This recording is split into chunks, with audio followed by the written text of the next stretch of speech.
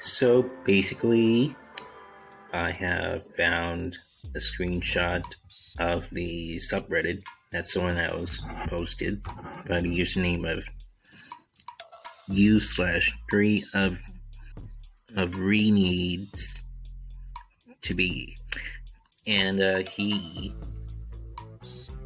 I think it's he, posted a subreddit post that captions on our way to monthly drama, which shows John Swan's uh, tweet that he screenshotted,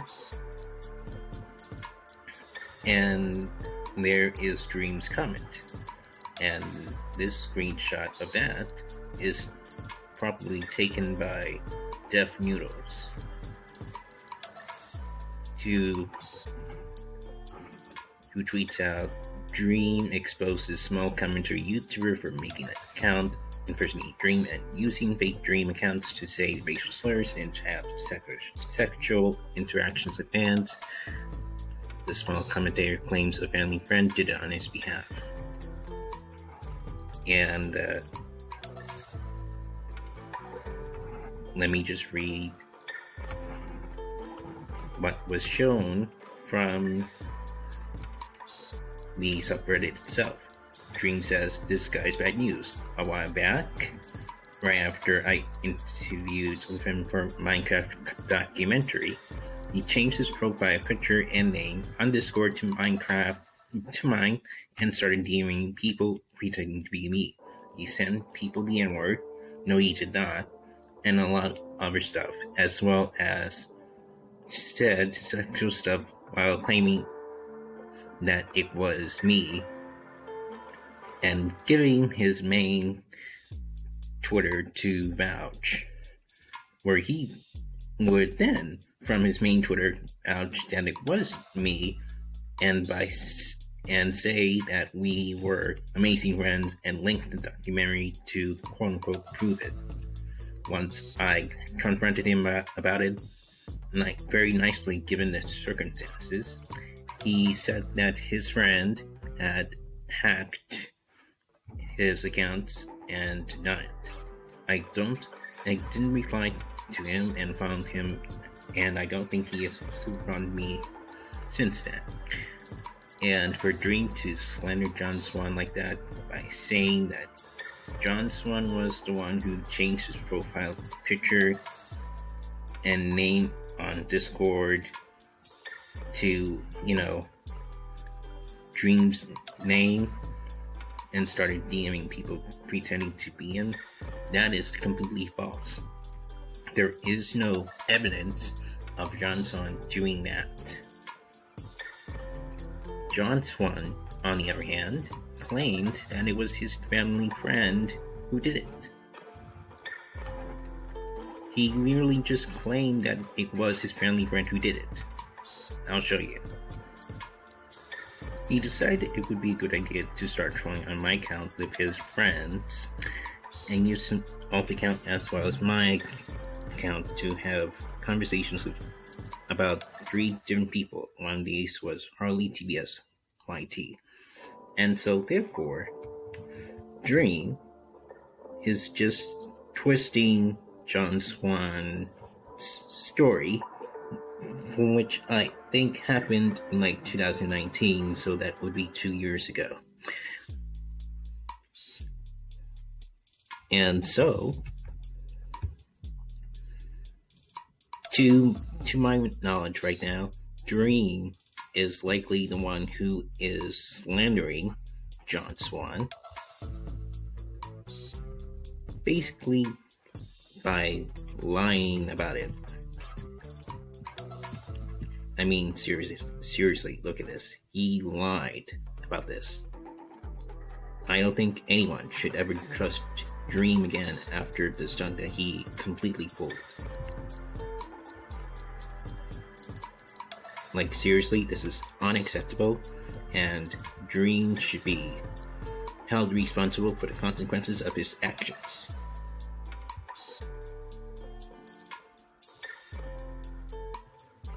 Now, the fact that Dream would go out his way to slander John Swan like that is just completely irresponsible of him. I mean, seriously, what kind of a person who is most likely a public figure would go out of his own way and slander somebody who didn't even do anything wrong in the first place? Many of John Swan's pals, like Augie RC, Bowblax, Optimus even. Had to defend John Swan because Dream is likely the type of person who would just get away with anything, and it's really sad that 18 million sub creator who posts gain a lot of traction tried to ruin John Swan's career.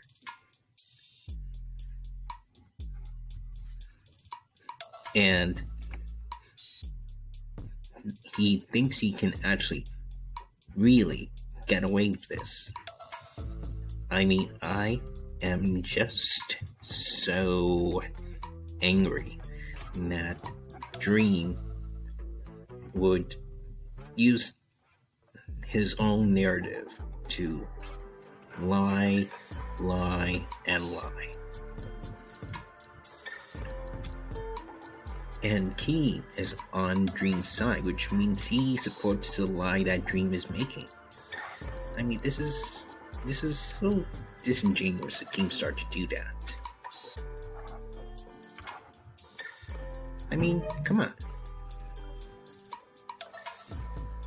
Why on earth would you believe him? There, there's no legit, there's legit no motive to chat like this anyone who's spoken with John Swan can tell you that it's not his character to say N word and weird 12 year old boy humor. Exactly. As someone who has personally spoken to John Swan several times, slash collaborated with him, I generally don't believe he do what Dream is accusing him of publicly.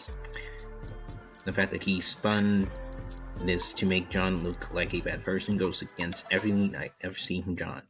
If it doesn't help Dream's case, that multiple people have come out to corroborate details about John's story, which to me makes this look like a vindictive attack on John meant to make him look bad intentionally, considering that loads of people have tried to get his attention. If Dream didn't believe that John Swan. That implies he has reason to not trust John. I just want to know what his reason is. Generally, you give people the benefit of the doubt by de- default, unless they are untrustworthy or give you snaky vibes. That's exactly what Dream is. He is untrustworthy and he gives up snaky vibes. And I'm extremely disappointed in Keemstar, which I'll make another video about this shortly on today. But this is quite unacceptable on his behalf. I am so disappointed in the way this is going because what Dream has done now is that he is trying to actually ruin his own reputation while getting Keem to ultimately ruin his own reputation again after what happened last time. And I do not appreciate this at all. And plus, I will respond to Keem about the French girl interview because it's been two months and we still haven't had the interview. I'm just so disappointed, however, mainly because of the fact that Dream has slandered John Swan, and he should at least apologize. He should at least apologize. I'm not going to take no for an answer. Apologize, Dream. You have done something so dirty that no one will ever forgive you for this. No one. Ever.